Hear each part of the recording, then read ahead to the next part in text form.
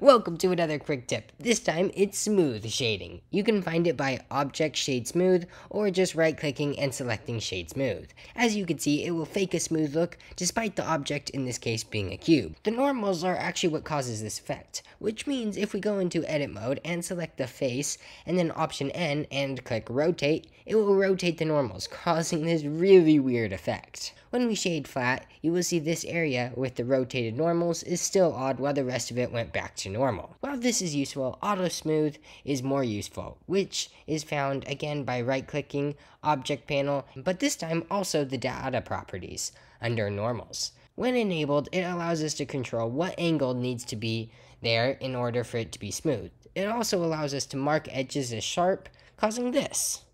Ultimately, the perfect tools for a smooth look without decreasing performance, like when using subsurface. So yeah, pretty useful. Well, hope you learned something, and bye!